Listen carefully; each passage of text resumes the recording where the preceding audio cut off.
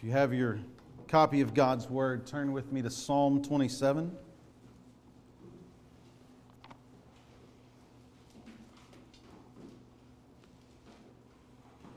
Psalm 27, I'll be reading out of the Christian Standard Bible. So if your translation differs just a bit, that's okay. If it differs a lot, see me after class. The psalmist David writes, The Lord is my light and my salvation. Whom should I fear? The Lord is the stronghold of my life. Whom should I dread? When evildoers come against me to devour my flesh, my foes and my enemies stumbled and fell. Though an army deploys against me, my heart will not be afraid. Though a war breaks out against me, I will still be confident. I've asked one thing from the Lord. It is what I desire to dwell in the house of the Lord all the days of my life, gazing on the beauty of the Lord and seeking Him in His temple. For He will conceal me in His shelter in the day of adversity. He will hide me under the cover of His tent. He will set me high on a rock. Then my head will be high above my enemies around me, and I will offer sacrifices in his tent with shouts of joy. I will sing and make music to the Lord. Lord, hear my voice when I call. Be gracious to me and answer me. My heart says this about you Seek his face, and Lord, I will seek your face. Do not hide your face from me. Do not turn your servant away in anger. You have been my helper. Do not leave me or abandon me, O God of my salvation. Even if my father and mother abandon me, the Lord cares for me. Because of my adversaries, show me your way, Lord, and lead me on a level path. Do not give me over to the will of my foes, for false witnesses rise up against me, breathing violence. I am certain that I will see the Lord's goodness in the land of the living. Wait for the Lord. Be strong. Let your heart be courageous. Wait for the Lord. Father, we thank you this morning for the opportunity we have to gather together in this place to lift high your name in song, to open your word, to read your word, to hear your word proclaimed. Father, in the presence of the Holy Spirit, each and every one of us have gathered for the purpose of seeking you, of worshiping you, of praising you, and of desiring, Father, this very morning to be shaped and conformed into the very image of your Son, Jesus Christ. I pray that you would give us eyes to see, that you would give us ears to hear, and that you would give us hearts to receive your word this morning. I ask this in Jesus' name. Amen. Amen. It is, it is an honor uh, eh, to be with you guys. I've, I've been in Dallas all week with the Southern Baptist Convention, but it was it was not a painful drive to come over this morning uh, with my family uh, along for the ride. My uh, four boys are with me this morning. My daughter was not quite feeling up to it, and, and it's perfectly okay to not pass the test of naming them because every time one of them gets in trouble, I fail that test as well. Uh, what I want to ask you is have you ever found yourself in a in an absolutely, entirely hopeless situation. Have you ever found yourself in a point in time or in a, or a point in space where you've realized that this has all gone south and that you're really limited by how you can respond to this? Several years ago, I'll never forget, uh, I was on a mission trip. I had just preached at the only evangelical Christian camp in the, uh, in the nation of Belarus. And on our return trip from Belarus, we decided to stop by and spend a few days in Prague. And in Prague, as you might expect, everything is not in English. Perhaps it's the Texan in me, but I probably wasn't expecting that as much as I should have.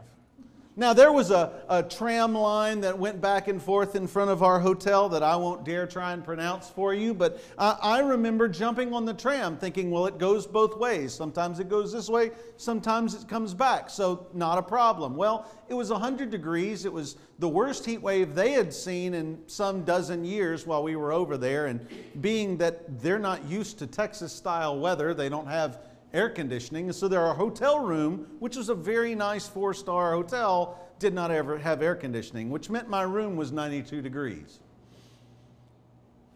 It was not a happy day. So we're tired. It's the end of, end of the week. We're almost home. I was trying to decide if I wanted to sit in the airport and do standby and try and get home a little bit earlier. But a friend of mine and I decided, well, let's jump on the tram, we'll go down a few stops, let's find somewhere with an ice cold Coca Cola. Now, some of you have already said David just lost his Texas card because he said Coca Cola and not Dr. Pepper. That's okay. I'm willing to bear that ridicule and scorn if that's what, if that's what it is, right?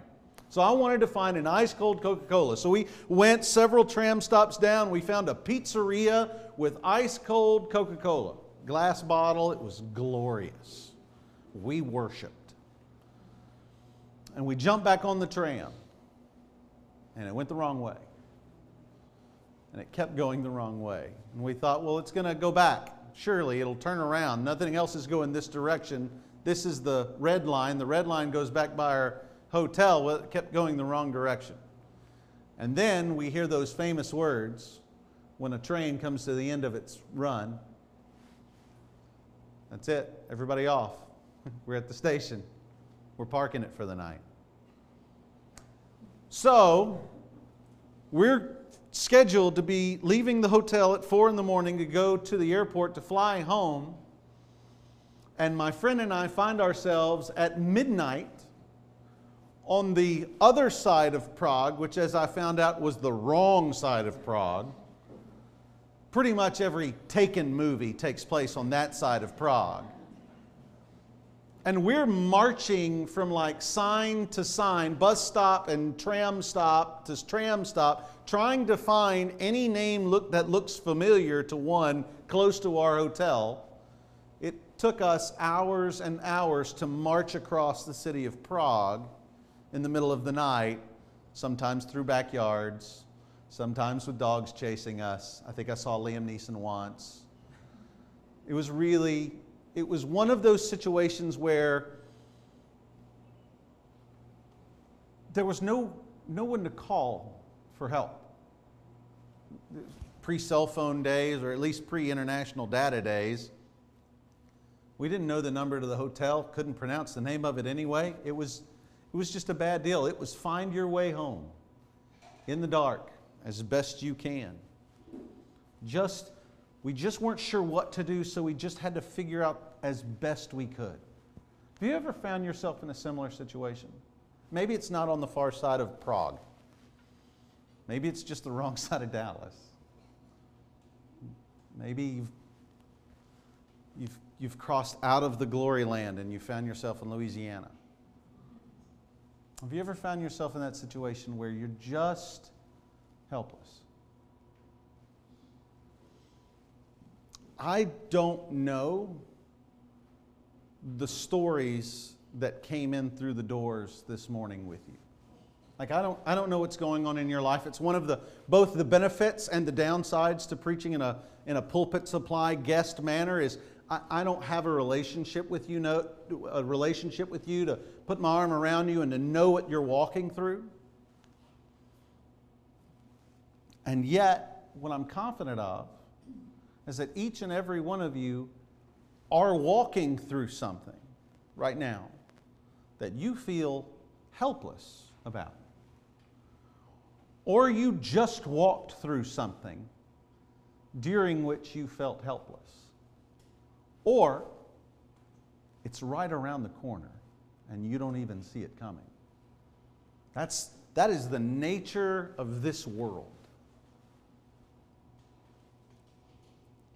What I know from God's Word is that there is a hope for us this morning found in this simple psalm. And so, what I want us to do is to look together and to read where it says in verse 1 The Lord is my light and my salvation. Whom should I fear?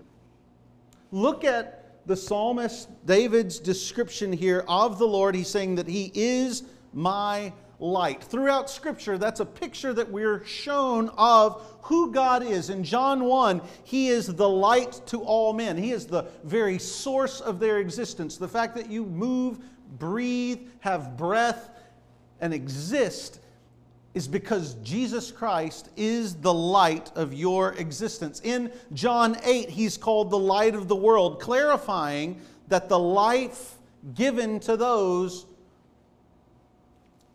clarifying the life given to those who follow him, the light shown to those who follow that light and serve Jesus Christ. God is described as the light. In 1 John 1, it says that God is light, and in him there is no darkness, no, no darkness at all, exemplifying the purity of who God is. And in Psalm 27, we see kind of this picture that encapsulates all of these. He is David's life. He is David's salvation and he is entirely pure. The Lord is my light, he is my salvation. Whom should I fear? The Lord is the stronghold of my life. Whom should I dread? Whom should I dread? And in just a couple verses, David shows a confidence that I fear many of us lack or we skew. We show a similar confidence that doesn't necessarily fit David's confidence. Who should I fear? Whom should I dread? David here has a, has a holy swagger, right? This is not a false confidence. This is not a, a false uh, swashbuckling bravado that stands in the face of what comes, though he may not have anything at all. He has the light and salvation of the Lord. So he has a, a very holy strength and confidence. The great British preacher Alexander Maclaren said that he thinks David here is recalling standing before the giant Goliath, and he stands there and says, If I'm not scared of him, if I'm not scared of nine feet of raw muscle, if He doesn't scare me, because I have God, of whom should I be afraid? You see, David's confidence was never in his own abilities. His confidence was never in the strength of his arms or, the, or the, his skill with the slingshot. His confidence was in the Lord. His confidence was not in the five smooth stones that he set in his patchel. His, his strength is not in his necessary abilities or whatever some someone may recommend that you have to have in order to be successful in business or in life. His, his confidence was not resting in his own wisdom or his own cleverness. Cleverness. His confidence rested in the Lord and in the Lord alone. Though an army deploys against me, my heart will not be afraid. The war breaks out against me, I will still be confident. Which means it's worth asking then to you and I where is your confidence? Where does your confidence lie? Are you resting in your skill at work, in the skill of your mind, in the skill of your hands, in the, in the winsomeness of your personality? Are you resting on the nest egg and security that you can fall back on should it all blow up? Where does your confidence lie? Let's take a page from David's notebook. The Lord is my light and my salvation. Whom should I fear? a real confidence. Not a, not a feigned, hollow confidence, but a real, substantive confidence. Which begs the question how do you know? How do you know if what you're holding on to is real and substantive or if it's hollow? How do you know?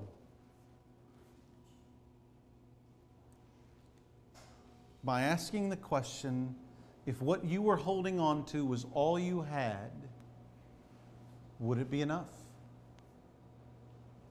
Would it be enough? That's where David goes. Look at verse 4. He says, I have asked one thing from the Lord. One thing from the Lord.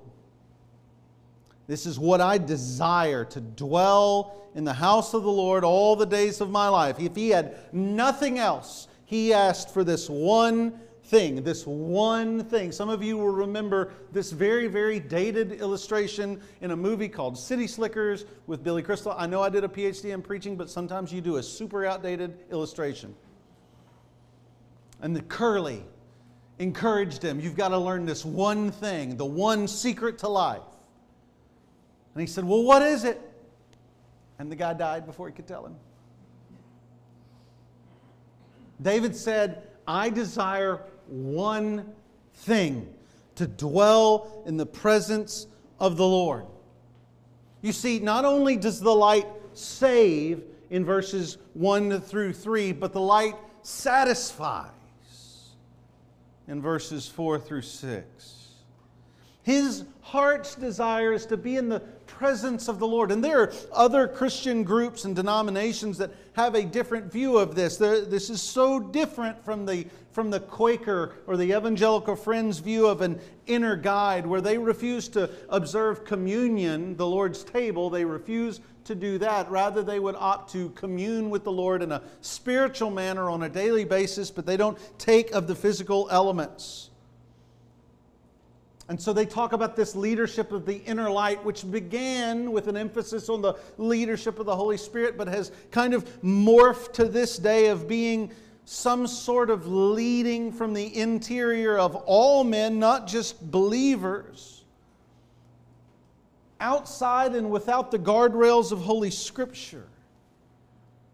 And as such, it's devolved in a lot of cases to really nothing more than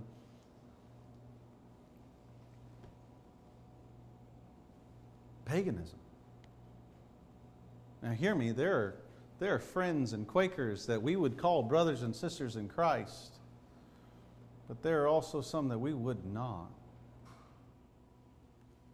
And it's because they're seeking satisfaction in their experience of something and not in, in the light itself. His his, David's desire was not longing and experiencing this deep light within, but to be in the presence of the light that existed outside him. As I read something online the other day, we're being taught so often and told so often to go with your gut and to trust your gut. Some of us have anxiety and our guts generally say, abort mission, run away now. It's not always what we're called to do. The Bible says the heart is deceitful. Let's not trust our heart, let's trust in Him who has given us this light.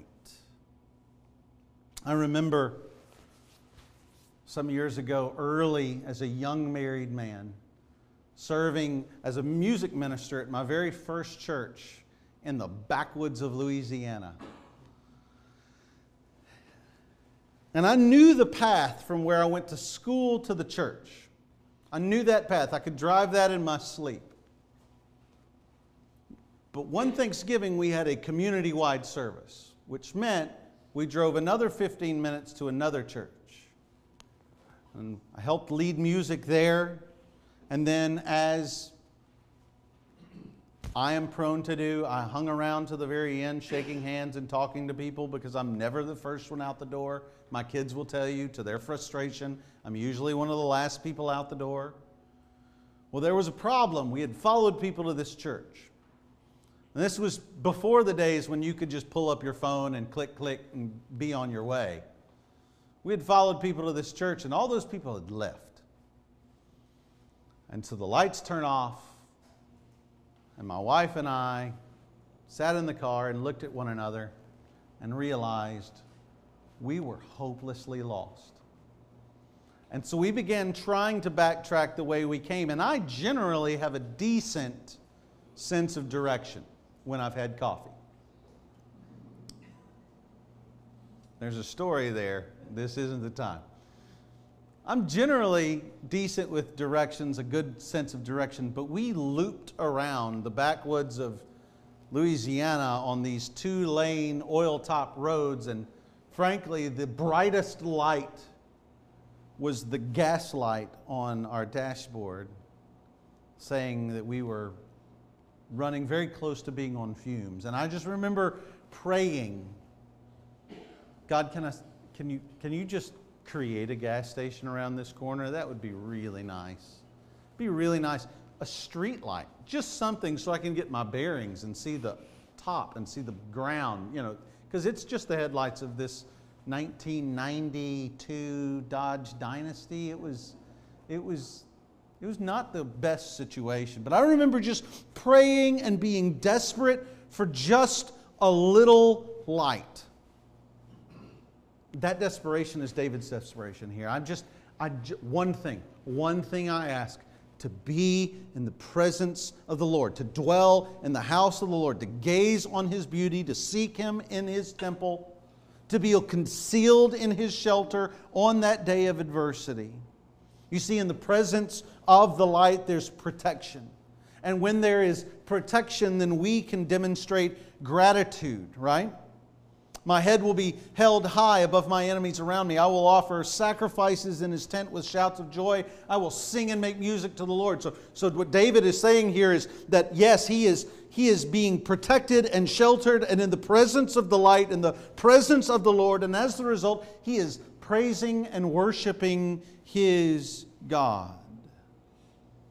There are sacrifices and songs before the Lord because of the satisfaction that comes from being in the presence of the Lord.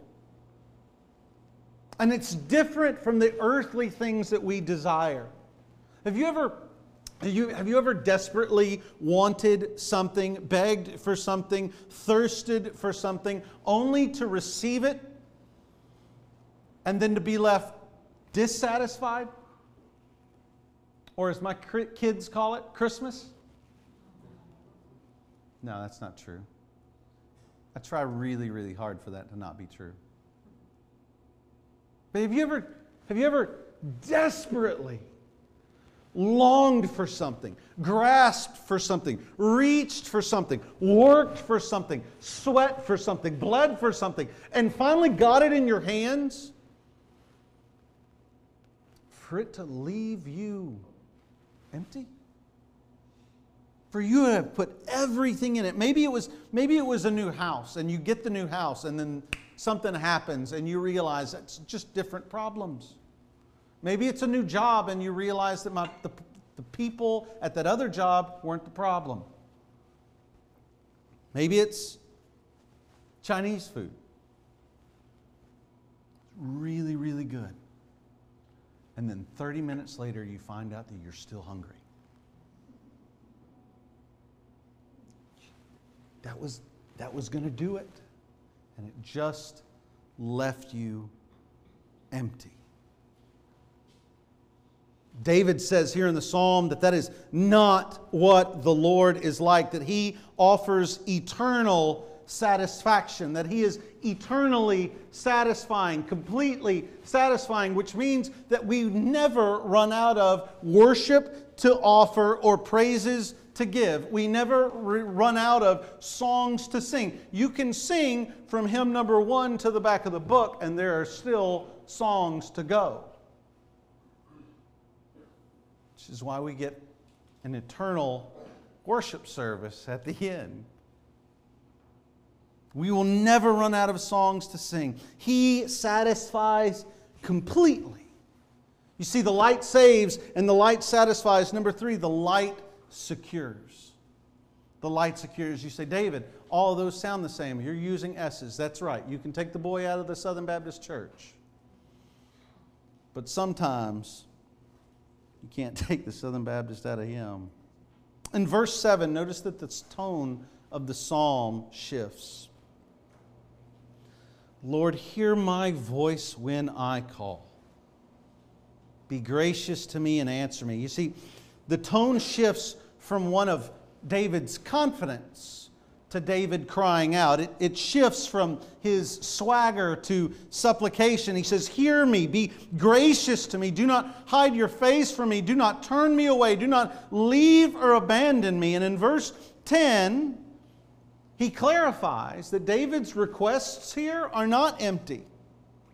They're not vapid. They're not hopeless. That there's a substance to his desire. Verse 10 Even if my father and my mother abandon me. And it is an indictment on our society that this does not shock us when we read it. Can we just say that out loud? This is intended to be an argument from the lesser to the greater. Of course, your mother and father would never abandon you, is what the author's saying. But even if it got to that extreme, the Lord would never. Is what David's saying. Even if it got so bad, so unbelievably, incomprehensibly wicked, that your father or your mother would abandon you, the Lord cares for you. David says, The Lord cares for me.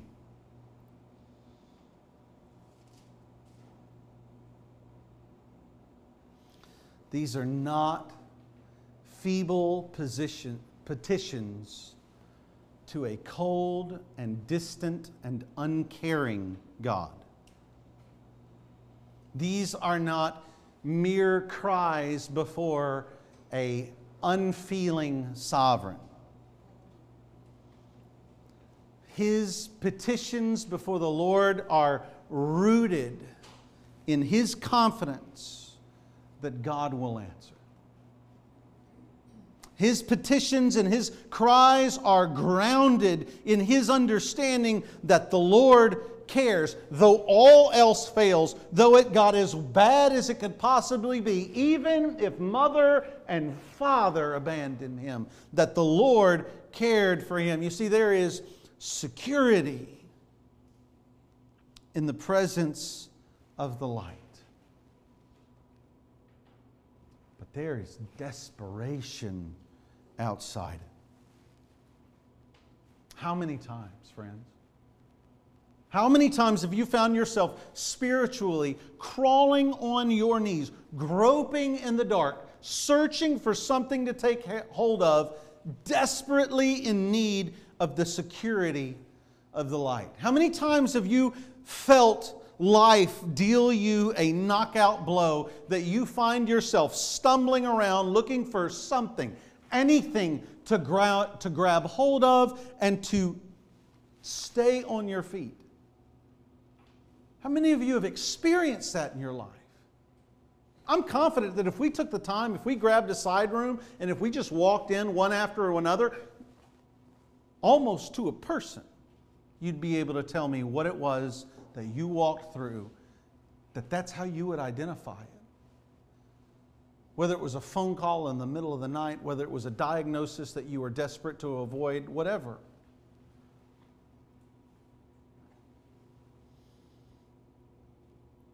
And you find yourself in that point where nothing else will hold you up.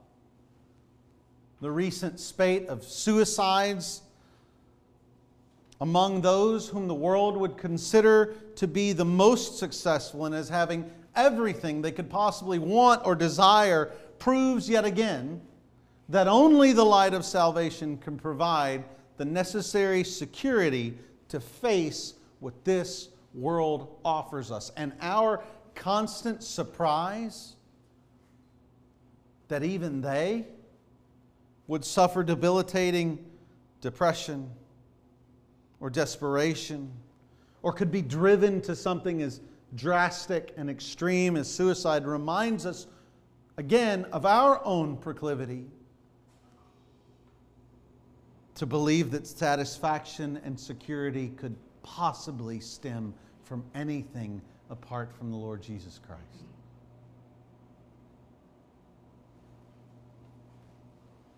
The light offers the only strength that gives us the ability to stand and face the day.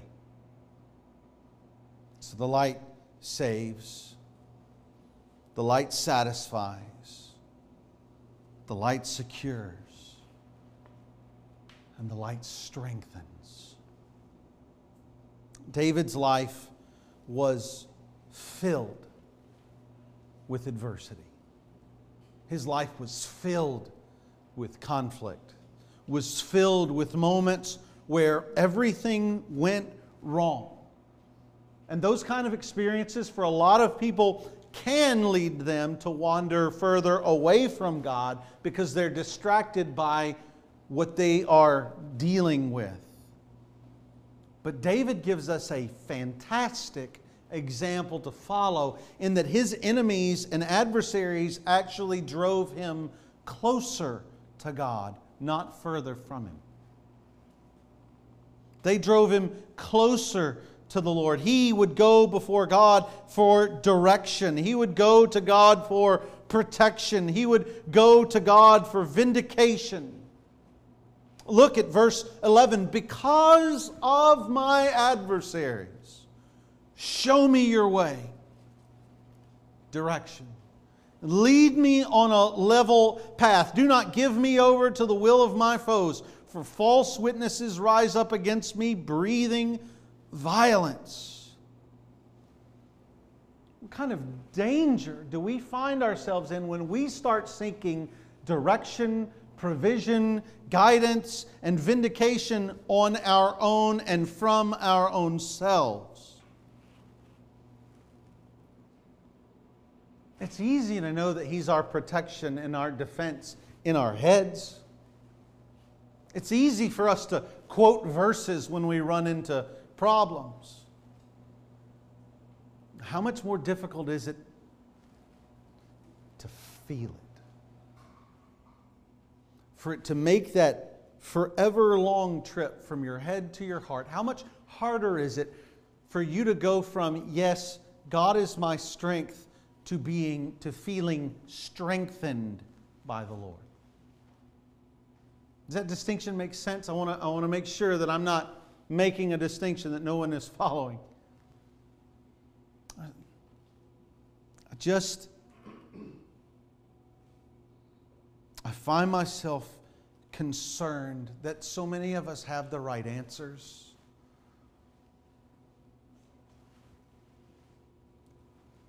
Within reach. And yet, how few of us take that and grip hold of that and cling on to that, and we will reach out to anything else.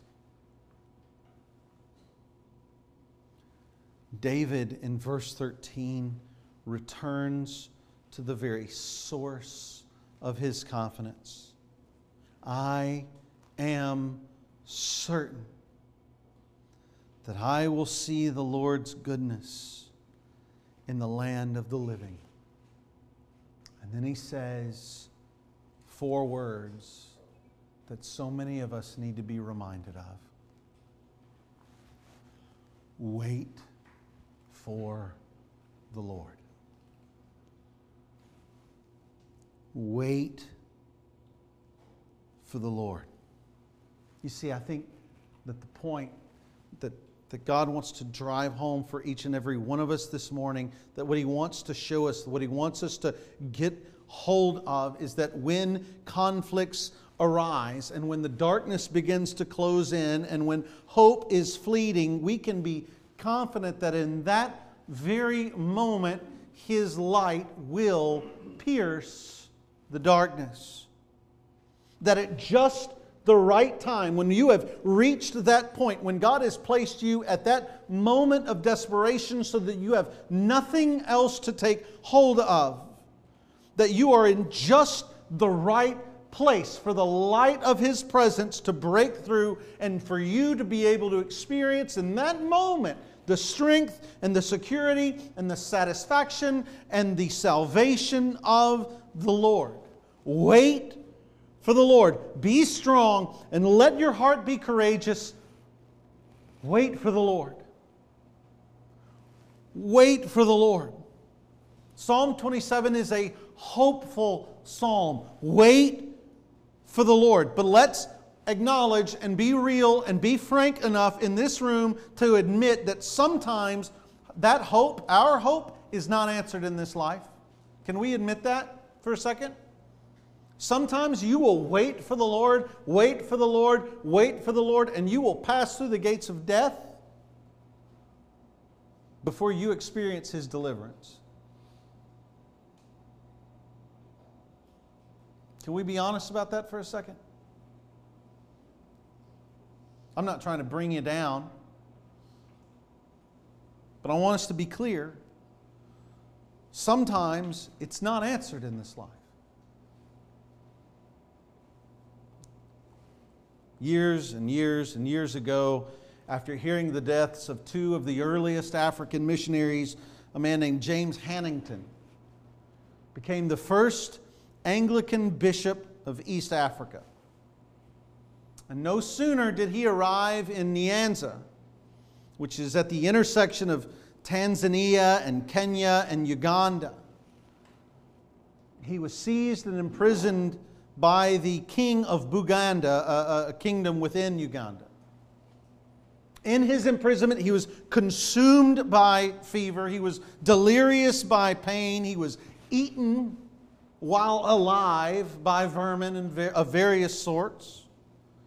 And he was facing in each moment an imminent death. And his last journal entry says simply, I am quite broken down and brought low, but I am comforted by Psalm 27. But I am comforted by Psalm 27 The Lord is my light and my salvation. The next day, October 29, 1885, he suffered a martyr's death and was stabbed from both sides with spears. And in the midst of such darkness, his hope was not in his earthly deliverance, but in his heavenly deliverer. And that's the light that pierces the darkness. Take this, take this to heart. In the midst of the worst that this world has to offer,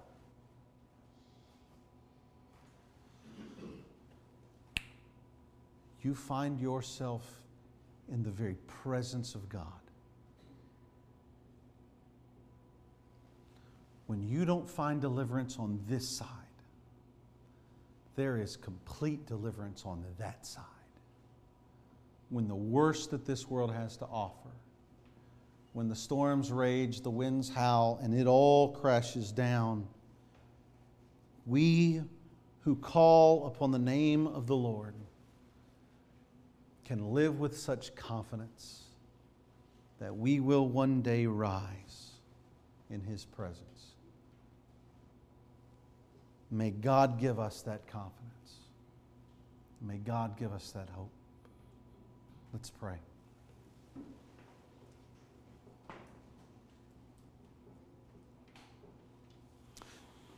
Father, we,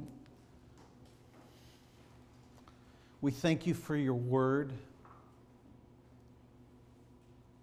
We thank you for the, for the rawness for the raw emotional edge of the Psalms. and how you communicate to exactly where we are in our lives. Father, I pray for each person in this room. There are struggles that I can't begin to understand. There are sorrows that no one else knows. But we are confident that according to your word, you know our needs before we even give them voice, and that even when we can't provide the words to pray, your Holy Spirit intercedes on our behalf and prays for us. And so, Father, as a, as a body of believers, we do. We weep with those who weep. We rejoice with those who rejoice. We want so desperately to come alongside those who are struggling so that we can give them the strength that we know comes from you.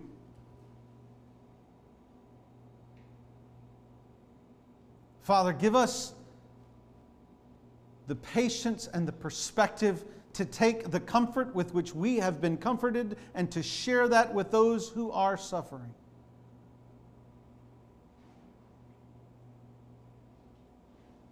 And for those who do not have the hope that we have, let us extend that to them and share with them your marvelous grace, your desire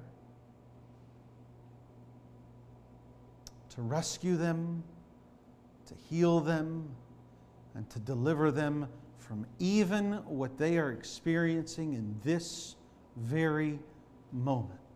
And we don't always understand why we walk what we walk through, but we trust you.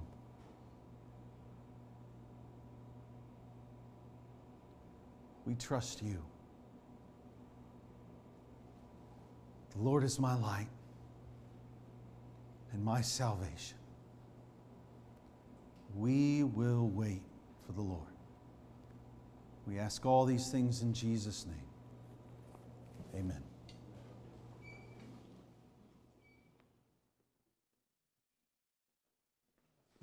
Let's